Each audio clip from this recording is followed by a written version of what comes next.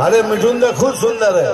Welcome back everyone to Blogbird ये देखिए अभी हम लोग आए हैं मिथुन जी के कार्यक्रम में। वो आ रहे हैं प्रचार करने के लिए घाटशिला। और यहीं पे हम लोग भी आए हुए हैं। उनका हेलीपैड बनाया गया है उधर। और यहाँ से वो सभी को संबोधित करेंगे।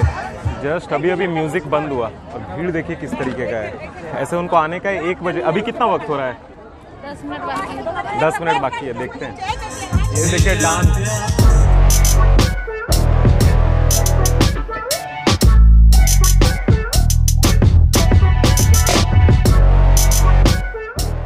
घाट जिला गाएगी लाल। घाट जिला गाएगी लाल।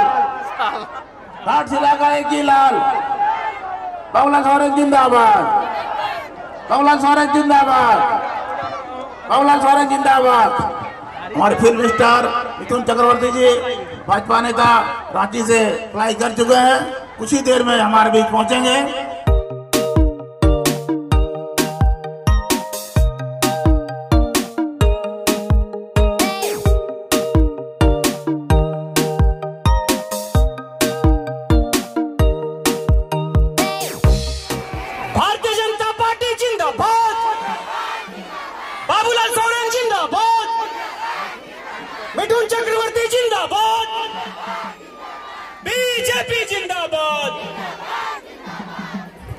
आप सभी लोगों से आग्रह है कि हेलीकॉप्टर का जो हेलीपैड बना हुआ है, वहाँ ना जाए। आप जहाँ जिस स्थान पे खड़े हैं, वहीं से हेलीकॉप्टर लैंडिंग दिखाई देगा। आप लोगों से आग्रह है कि यहाँ व्यवस्था जो है, उस व्यवस्था को बनाए रखें। आप जब इधर उधर भागिएगा, दौड़िएगा तो इससे जो है अफरा तफरी का माहौल बनेगा। आप सभी लोगों से आग्रह है कि अपने स्थान पर रहें। वहाँ से हेलीकॉप्टर उतरते हुए आप सभी देख पाएँगे। और मिठुंदा वहाँ से हेलीपैड से सीधा इस मंच पर आएँगे और यहाँ से ही आप सभी लोगों को संबोधित करेंगे। सभी लोगों से आग्रह है कि अपने स्थान पर ही रहे।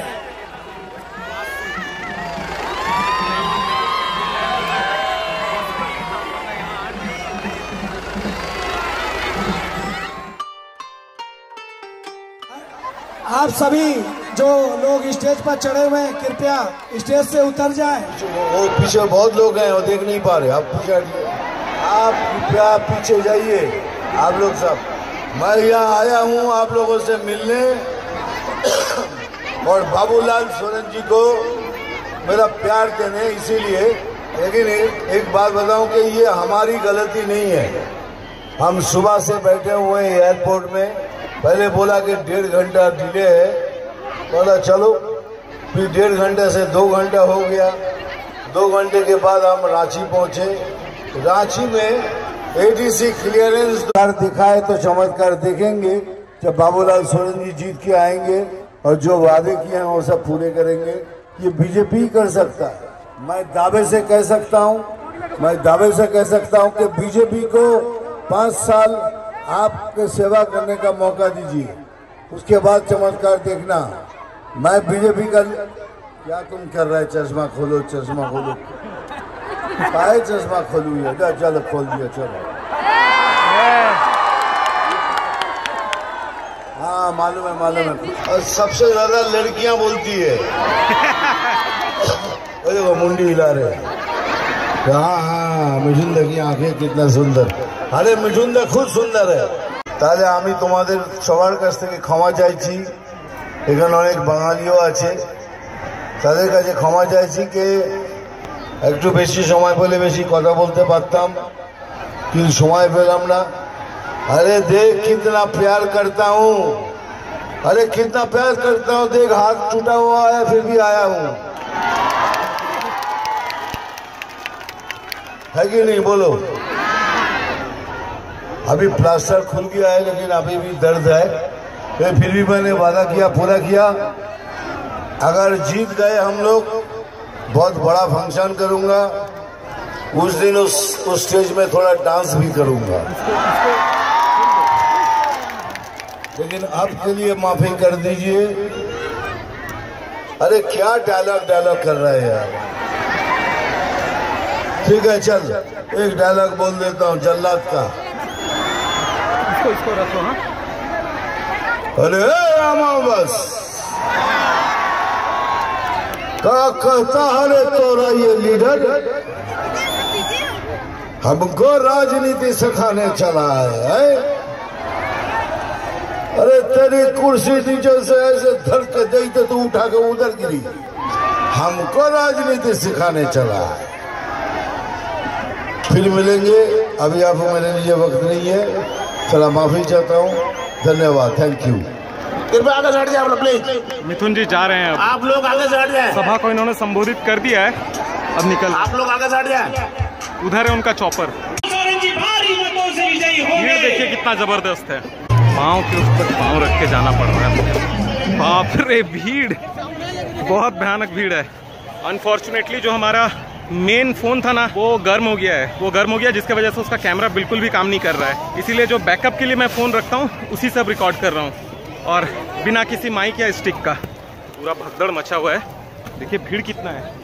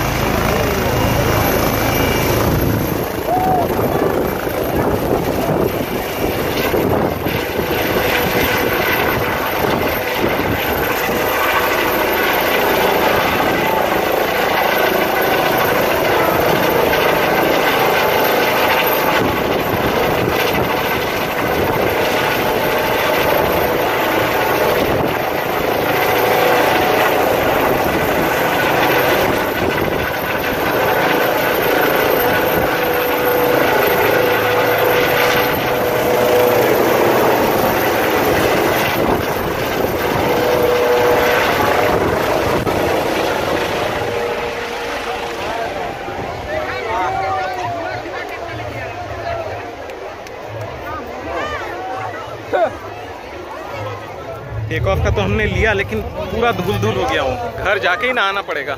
आ जाओ। चश्मा दो मेरा। चश्मा पहन के भी वैसे कुछ खास फ़ायदा नहीं हुआ।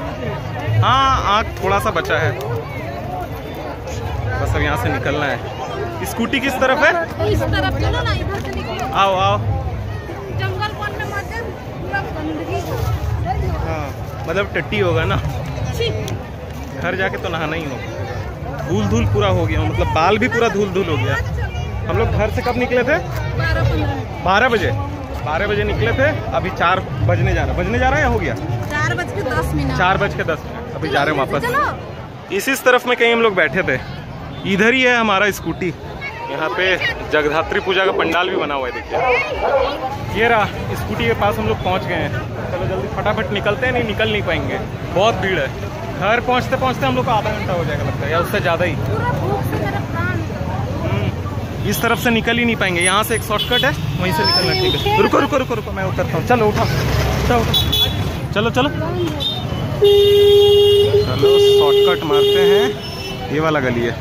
चलो भाई ये देखिए अभी अभी हम लोग आए और किसी ने कार इस तरीके से पार्क किया है कि यहाँ से मतलब बाइक या स्कूटी कोई भी पार करना बड़ा मुश्किल है। ना इस तरफ़ से सही से पार होगा ना इधर से सही से पार होगा। लोग मतलब पार्किंग करते हैं तो एक साइड कम से कम लगाना चाहिए ताकि आराम से एक तरफ़ से आदमी पार हो पाए।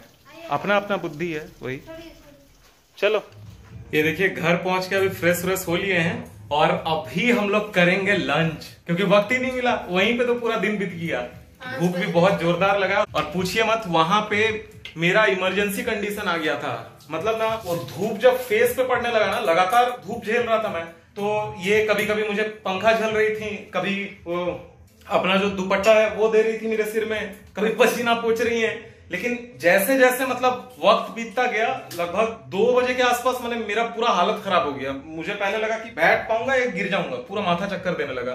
तो फिर ये और मानी नहीं है बोले कि आपको मैं तब से बोल रही हूँ कि मतलब पानी लेके आती हूँ और आप कि जाने नहीं देंगे। कुछ नहीं होगा, कुर्सी उर्सी कोई नहीं लेगा। इसके बाद ये क्या की कि अपना बैग कुर्सी में रखी और फिर लेने गई पानी मेरे लिए। और आपने तो देखा ही, भीड़ कितना ज़बरदस्त था। लेकिन हाँ जो पास में जो लेडीज़ थी, वो काफ़ी अच्छी थी। मैं, क्योंकि कुछ देर बाद मैं वो खाली कुर्सी को भी पकड़ नहीं पाया मतलब जिसपे आके फिर बैठती। तो वो लेडीज़ लोग ही पकड़ के बैठी, वो समझ गई कि मतलब कुछ सिचुएशन जो है वो गड़बड़ है। फिर एक ने मुझसे पूछा कि वो पानी लेने गई है? तो मैंने बोला हाँ एक्चुअली मतलब ज़्यादा टाइम तक पानी नहीं पीने से मेरा थोड़ा हालत सही नहीं रहता है। हो सकता है लो बीपी की वजह से या क्या, मुझे पता नहीं। तो फिर उन्होंने कुछ बोला नहीं, वो कुर्सी और बैग का ध्यान रखा उन्होंने। मैं तो उस हालत में ही नहीं था, मैं बस किसी तरीके से स्टिक पकड़ के मैं बैठा हुआ था। मैं बोला, बस गिरना नहीं है। फिर ये आई पानी लेके, मैं पानी पिया, तब जाके सही लगा। तो ये भी कंडीशन झेलना पड़ता है हमें। और अभी मैं आपको वक्त दिखा देता हूँ। ये देखिए, पाँच बजने जा रहा है, और अभी भी हमने लंच किया नहीं है। भूख बहुत जोरदार लगी है। तो इसीलिए फ़िलहाल इस ब्लॉग को करते हैं यहीं पे एंड ये ब्लॉग आपको कैसा लगा कमेंट करके ज़रूर बताइए। और मुझे दीजिए इजाज़त। मैं बहुत ही जल्द मिलूँगा आपसे एक अगले ब्लॉग में। तब तक के लिए आप देखते रहिए ब्लॉग बर्ड्स और अगर चैनल पे नए हैं तो चैनल को सब्सक्राइब करना बिल्कुल मत भूलिए।